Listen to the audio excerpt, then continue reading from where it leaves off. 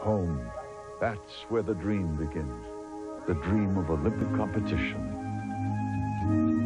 Because for every young athlete who wakes up early to practice, there's a mom and dad who wake up even earlier to get them there. So when you watch the 1992 Olympic Winter Games on CBS, remember, that's not just America's team out there.